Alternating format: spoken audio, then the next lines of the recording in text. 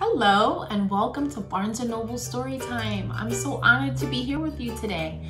My name is Alissa Holder and I am the co-author of a new children's book. It's called I Am Smart, I Am Blessed, I Can Do Anything. And I wrote this book with my sister, Zulekha Holder Young. And this book has a very special main character.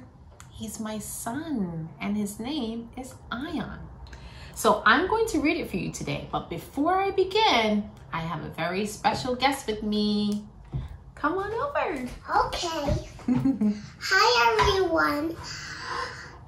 My name is Ion. We have a special book to read with you, and it's called I Am Smart, I Am Blessed, I Can Do Anything. Good job. Can you ask them if they're ready? Are you ready? I hope so. okay. Here we go. I am smart. I am blessed. I can do anything by Alissa Holder and Zulekha Holder Young. Illustrated by Nanika Myers. Ion woke up bright and early. He usually loved going to school, but today he felt a little bit worried. Ion, where's your happy face? His mom asked.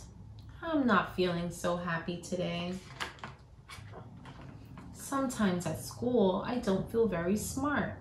I feel worried I won't know the answers. Ion's mom looked into his eyes. Do you remember what we always say? He nodded. Let's say it together. I am smart. Let's say it louder now. I am smart, they both shouted toward the sky. Ion felt better, but deep down, he was not so sure. Outside, Ion took his mom's hand. Look who it is, she said. It was Mr. Grandpa. He waved and gave Ion his usual morning greeting. Go get him, Ion. Today's going to be a great day. Thanks, Mr. Grandpa, Ion replied quietly but deep down, he wasn't so sure. Ion, Coco wants to say good morning. Ion scratched the little dog's ear like he did every morning. Coco wagged her tail. Ion high-fived his friend Amarly. She lived just around the corner. See you at recess, Ion, yelled his friend. Ion was still quiet. His mom squeezed his hand. Isn't it nice you have so many wonderful people in your life? People who care about you? What do we always say? Let's say it together. I am blessed. Let's say it louder. I am blessed, they both shouted. Ion's mom picked him up and swung him around. Ion couldn't help but giggle. Ion couldn't help but giggle. yes. After they crossed the street, Ion stopped to tie his shoe. He had been practicing, but still he asked his mom for help.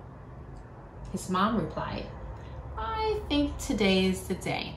Give it a try. Ion concentrated on his shoe. It took him a few minutes, but he tied his laces into a perfect bow.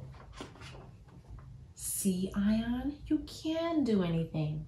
Let's say it together. Ion smiled. I can do anything. He looked at his mom.